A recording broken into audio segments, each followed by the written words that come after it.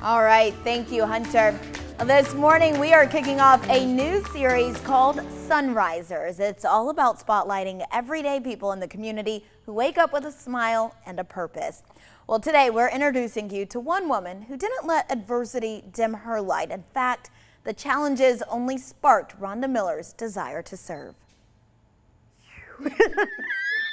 a contagious chuckle and a smile brighter than the sunbeam she has on her wall. If I see somebody smiling, is the best thing that can happen to me. With her grin, you'd never know the grim pain it masks. Foster care, um, being a victim of incest, domestic violence, homelessness, and just despair of don't want to live anymore. But she found help at the Macon Housing Authority.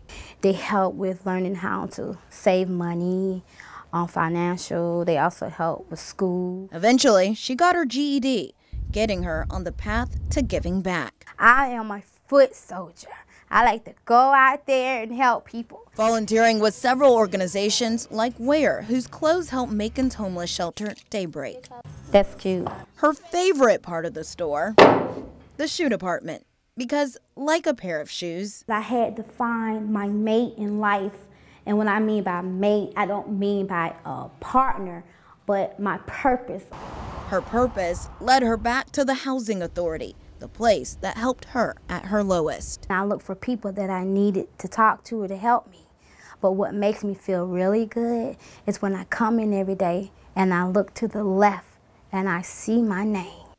A name and wave that's well known. Hello. Oh, if she drives up, people are following her vehicle. She's really helped with participation in some of our workshops and programs even starting her own programs like libraries for the young students and a healthy eating class for seniors.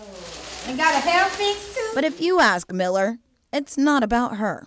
Seeing someone achieve their goals and be successful. That's my number one. Spreading a lesson she learned a long time ago. In your darkest hours, do not give up. Truly believing. The best is yet to come.